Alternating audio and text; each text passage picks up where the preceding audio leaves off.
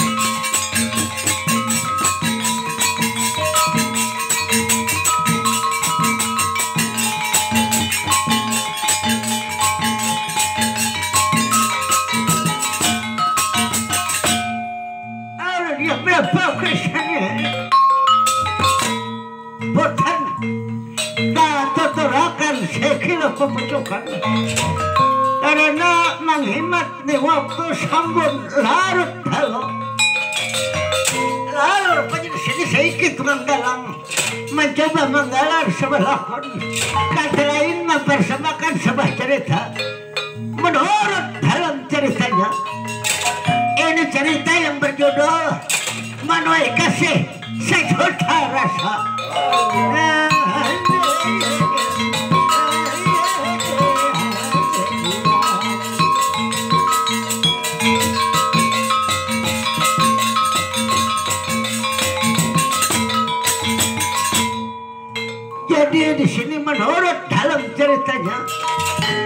cerita suasana yang sangat bersejarah awal dahulu kala. Jadi ini cerita iki marang negara. Apa penjenengan negara ini? Orang nunut yang lain. Lalu cerita pada gunaman marang iki sebuah negara ialah negara Manukara atau kata umum disebut negara Pandawa jadi serumpunan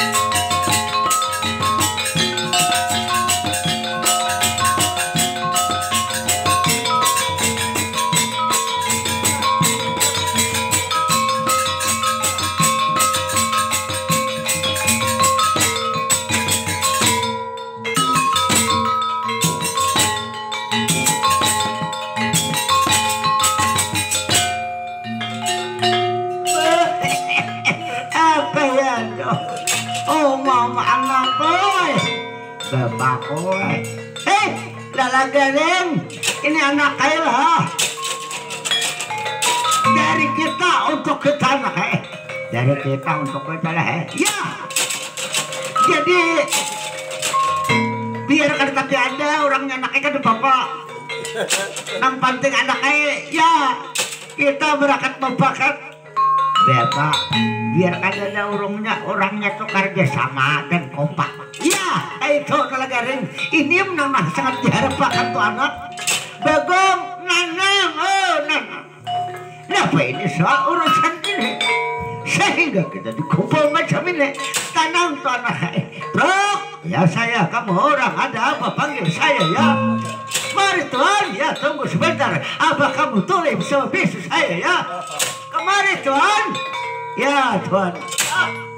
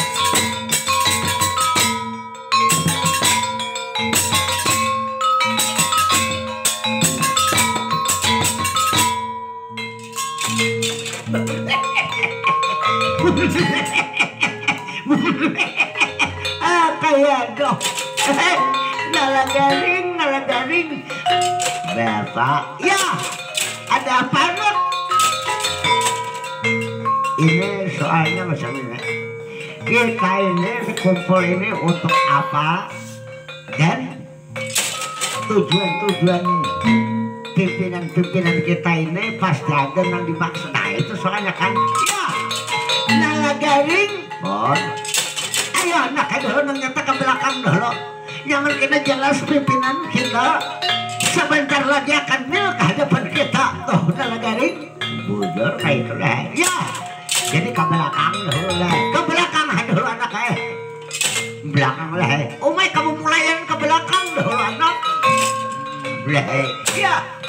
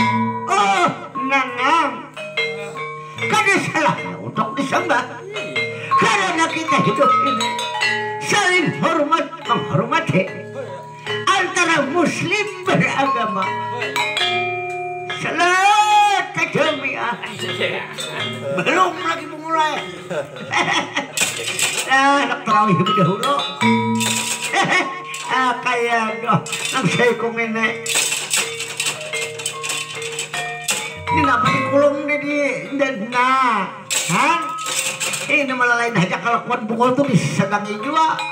Jangan menuntung anak kae. Bagong, nanang, oh nanang.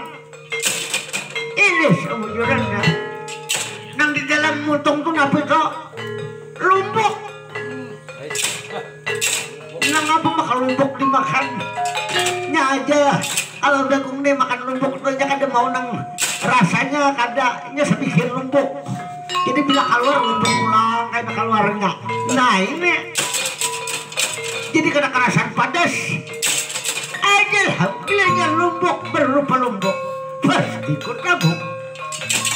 Nah ke belakang haduh anak. Bagong kasih anak kaya. Ini tampul anak kaya. Kehadiran kehadiran tokoh-tokoh masyarakat. Nah hadir ini anak kaya kadang kaya kita aja. Pejabat-pejabat tinggi. Orang-orang yang petita, orang-orang terhormat anak. Aparat-aparat kerajaan di negara Pandawa. Bagong. Hmm, lehe. Jadi aku ke belakang jual. Lah kasih. Hmm, ayo.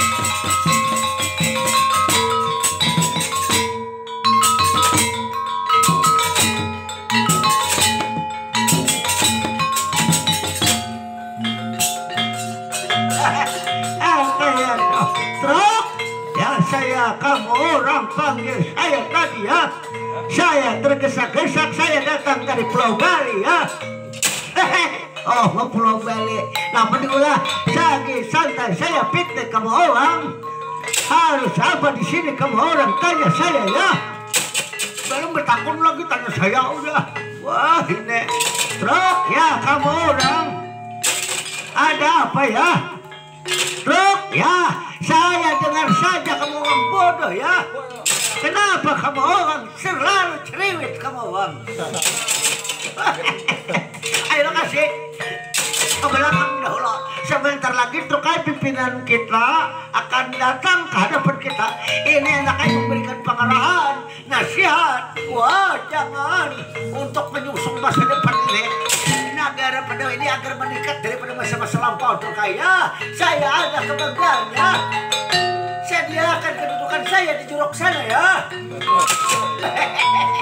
di jurok.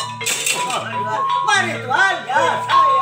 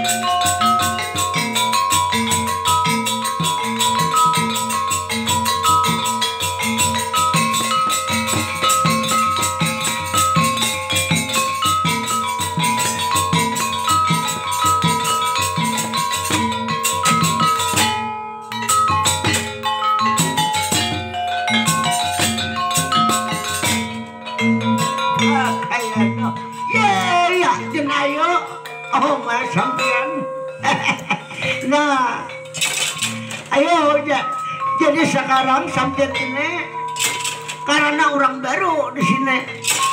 Jadi bisa-bisa menyesuaikan keadaan di negara Pedawadan. Maklumi keadaan-keadaan kami sekarang ini. Ma, sekarang apa boleh buat? Mana? Sekarang ini ulun turut diundang oleh Kakang Arjuna Semar. Inggih abdiko, aja pembendara. Dan ayo, ayo duduk sama-sama dahulu kita di sini. Sebentar lagi Pangeran Dipati Jedaka akan di hadapan kita ini saudara-saudara semua. Dilihat karena kepegampang warga besar kita hadir meretaan. Iya Semar, syukur bahagia Semar. Inggih abdiko, ayo.